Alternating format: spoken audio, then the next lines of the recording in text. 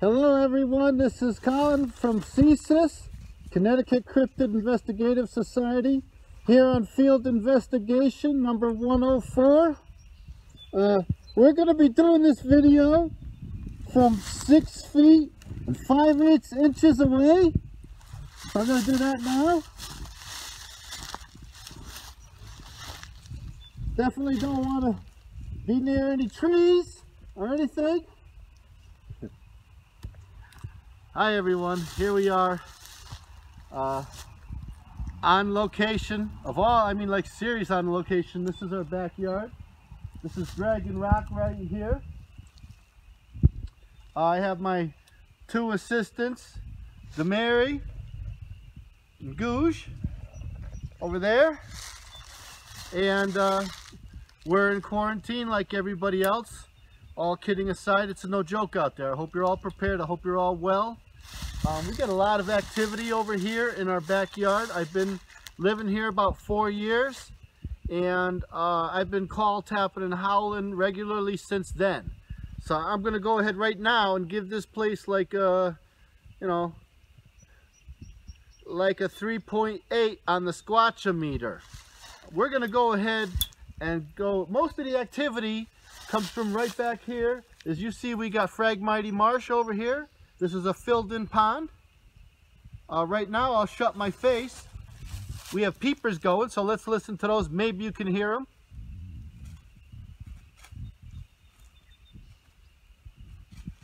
Uh, so we have insects just now appearing. The maple season's winding down. Um, so over there is all the activity. This is, if you've heard our video of what we believe was squatches herding deer late at night um, this past late winter. It came from back over that way, oh, got real intense around here and then drifted away over that way. I didn't even know there was such a, oh, we got to keep my six feet and three eighths inches, five eighths inches, sorry, for my Todd, my, my carpenter friend out there. I got a tape measure with the actual numbers on it because I can't use the little lines because of course I'm a painter. and George, what's up? How you doing, bud? Out there doing your thing in eastern Connecticut we got a lot of activity back here. So we're going to wrap this part up uh, live on location from Dragon Rock. Here we are. Dogs aren't a good idea if you're going squatching. I mean, some people say they are, but not these dogs. These dogs ain't nothing but trouble. They're not going to find nothing. If they do, they're going to howl and chase it away. Uh, there we go. A live uh, demonstration of why you don't bring these dogs squatching. This dog and the squatchometer is coming in at about like a 1, like a, a 0.085. Yeah, not good squatching. Um, okay, so we're on the path. Hey, 6 feet, 5 eighths inches. You remember the thing. Todd, my carpenter friend, you know what I'm talking about. Little lines on the, the, the tape measure. Uh, this path I built here, yeah, I got about 8 billion tons of freaking wood chips down this path. I made this path to investigate the knockings that I heard. Uh, I was already a cryptozoologist when I moved here and uh, the activity, I do believe I've increased it. We're going to try a couple tricks. Oh, my camera person's reminding me not to turn away as we talk. Um, and we're keeping our distance. Um, but we're going to move on down the path.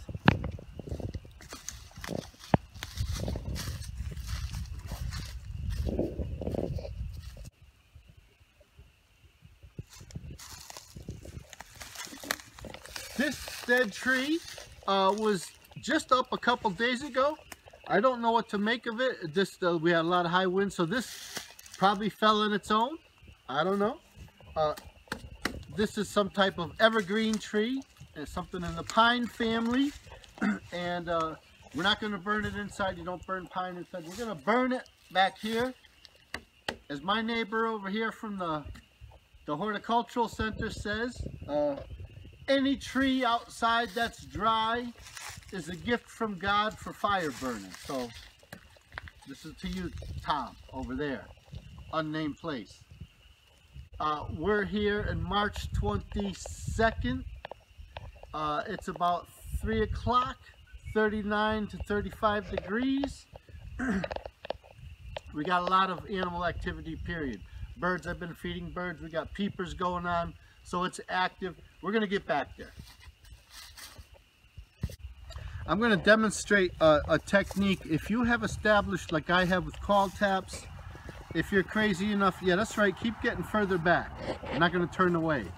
Um, if you have squatch activity and you're tapping and they respond, I mean, you might as well go ahead and consider that communication, right?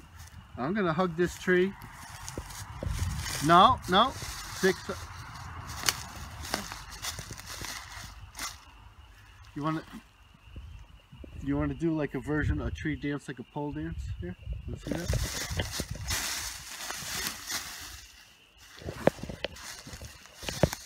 Poor trees. These trees take a lot. Hey, all right. The squatchometer here, uh, you know, I told you it's it's just, all right. We're to demonstrate something called gifting. Well, let's do this right here. Look at this beautiful red delicious apple from Washington. I've established call taps. I got a stump right here. Random stump right here. Okay? I'm going to put this here. That's as obvious as the day is long. That's certainly not in season. And uh, there it is. This.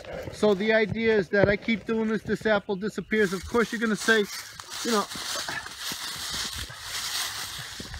you're going to say stuff like, a raccoon or a skunk got this. I got you. All right, we're moving along. We're going to demonstrate gifting today.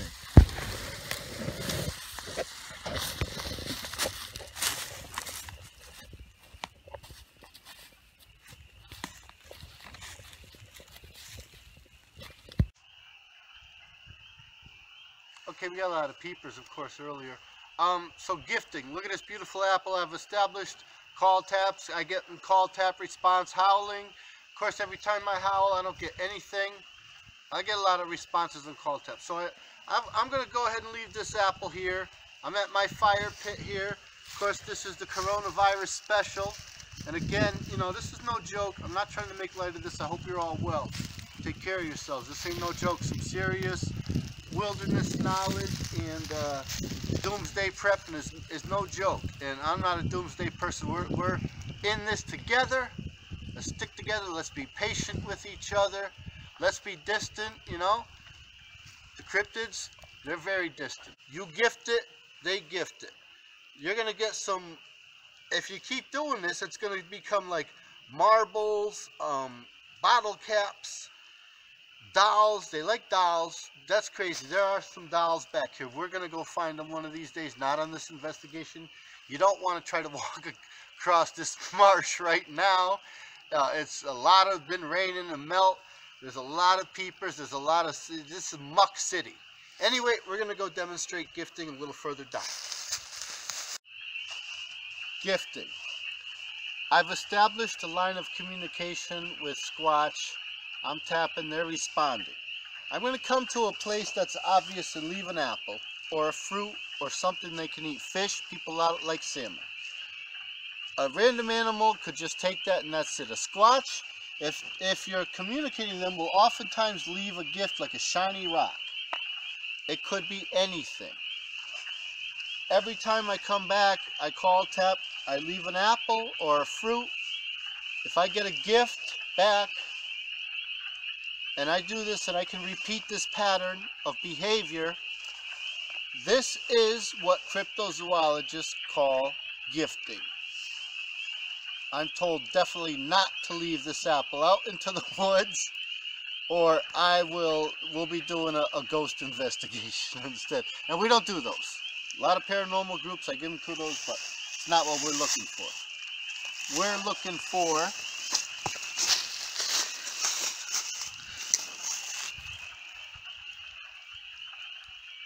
any cryptid. Let's listen to the peepers for a minute.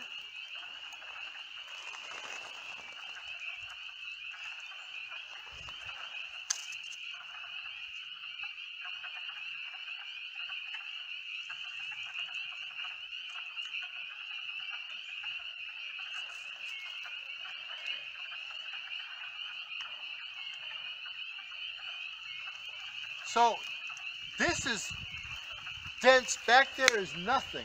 I was back there one time. Uh, I'm told the camera person I was talking about the dolls that I found back there far in the woods. There is no trail or nothing. I just followed this. You see the water? There's another pond back there. There's two ponds. There's a small one up here and a big one back there. And I went back that way and I got about two miles back and I found toys. Uh, boys' toys like plastic dump trucks and some dolls. And, and okay, dolls those dolls in the woods, yeah, I'm to give that like a 7.4 on the Squatchometer because that was just messed up. And, you know, I'm, I'm being asked to investigate that. I don't even know if I can find it again. But back that way is dolls in the woods, dolls and toys, children's stuff. It's messed up. Um, anyway, here we are. You get a lot of activity, beavers and peepers. Uh, investigating cryptids is, is about getting outside to these places. Your state forests, your parks, try to avoid people. Listen, hey, we started avoiding people from the beginning of CCIS, so this is nothing new to us. We're even avoiding trees. Hey, don't get too close to me, all right? Shout out to my friends Dean, new to the group. Everybody that's new to the group, um, welcome aboard. You could do your own videos and, and you know, just check with us, edit them and post them. We're going to do some call taps later tonight when it gets dark. I'm going to go ahead and uh, wrap this up right now. So we are on location in Ivy Mountain, Litchfield, Connecticut, somewhere our backyard. Uh, social distancing at its best. There's our, there's our, come here. I got the assistant, my mighty assistant coming here with some news. Did you find something? Come here. Did you find something? Uh, he didn't find anything. What he's communicating to me is uh, that he chased something away. So not a good, not, not the greatest assistant to have with you, but we're having fun during, during a coronavirus special. It's no joke, everybody. Take precautions, stay safe. We're going to keep you entertained on our various um, social media sites. Oh, oh, hey, to trademark social distancing media sites. See you soon. Investigation number 106 coming up somewhere, probably back here. Alright, so here we are. Just another shot of our uh, backyard here in Ivy Mountain. And uh, you see my dog assistant over there chasing things away. There's the water. Water ha always has activity. We've got Phragmites over here. We're just, you know, deep in the muck over here. This is real qualified. This is good muck. Um, so there's all kinds of animal tracks. We're just reminding you to Feel free to share your experiences, your stories, anything you want to post. There's, look at, there's my assistant out there scaring away anything. and we're just out here having fun. It's a, it's a warm, nice spring day. And we're talking about gifted on location.